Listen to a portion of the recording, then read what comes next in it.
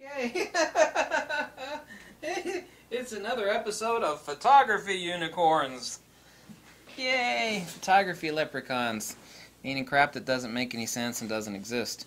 Um, you'll kind of see this, uh, this little phrase everywhere. There's all sorts of crazy BS out there. Especially, uh, people that uh, reference DxO mark. I mean, that's always Man, that, that, that, stuff is really crazy. Um, hear this phrase, talking about uh, further reach with a DX uh, camera. It's like, let's just say this is a full frame lens, and uh, it's uh, it's not a full frame lens. Let's say it's a full frame lens, a 16 to 55, I'm mounted on a full frame body. People will talk about this lens like, well, I'm going to use it in a DX body, and I've got more reach because, uh, you know, in crop mode, on a crop sensor, excuse me, uh, this is basically a 24 to 70 millimeter lens, so I think that this lens has more reach. It doesn't have more reach. That's that is as stupid as saying that uh, you're looking out a window and then like someone puts a mask over a mask over the window and you get the exact same field of view of a, a set of binoculars. It's like wow, I've just like uh, magnified uh, the image. Like no, you haven't. You just taken a crop the crop of the exact same light passing through the window. And th this amazes me to death. Sometimes, wow, I mean, talk about common knowledge really isn't common. Amazes me that people don't realize, and the amount of people that don't realize this is absolutely astronomical. That every lens ever made by any camera company ever, ever, ever doesn't know or doesn't care what size sensor is underneath it. They all crap out the same light out of the back of the element. Same field of view, same intensity of light. Actually, if you use the same full frame lens in a DX crop body, you have a higher intensity because the circle of projection is brighter at the center. Uh, all lenses act like magnifying glasses. They send out a circle of light and it is brighter at the center. Well, that's one point. Now, the further reach thing, where is this coming from?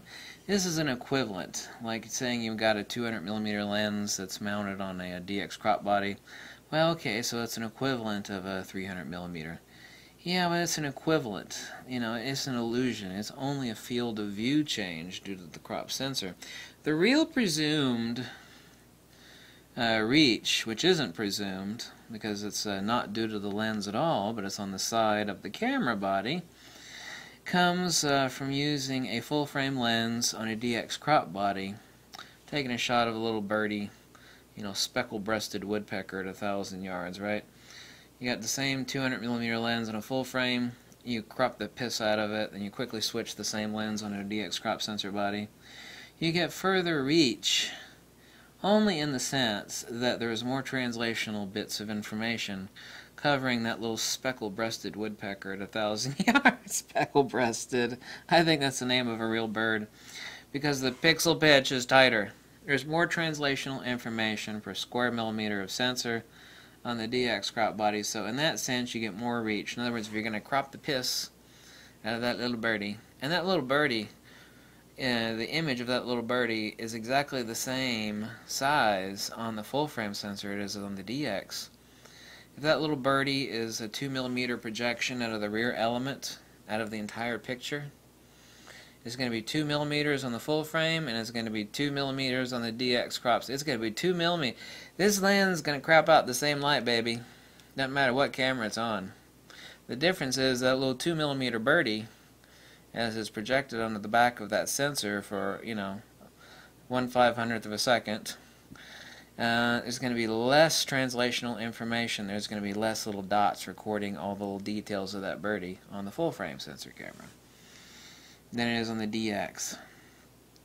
Now things are starting to kind of change and that full frame sensors are starting to go towards intermediate halfway between uh, DX and FX pixel pitches and here in a few years it's probably going to be irrelevant. They're all going to be about, the same size. At least that seems to be the way it's headed. But as for right now, this notion of further reach is nothing to do with the uh, the camera and that has absolutely nothing to do with the size of the sensor. It has to do with the pixel pitch on that sensor. So that's where the further reach comes from. Going to be able to crop into it more and have more detail. or more detail uh, retention, technically so. So here's photography unicorn number 50 or what. There's all these photography unicorns, all this crazy BS that's out there. Because to most people, a camera and a lens is like a magical electronic wonder box, and uh, they don't kind of think about what's going on. And you know, lenses are really, really stupid.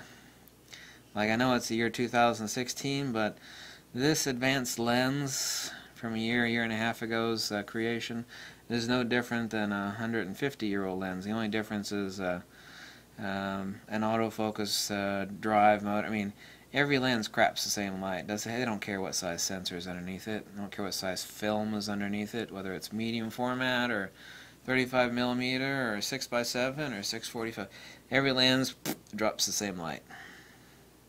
They all do. There's no lens that does anything different than that. They all drop the same light. So, here we go. There's dispelling uh, photography unicorn number whatever it was. Okay?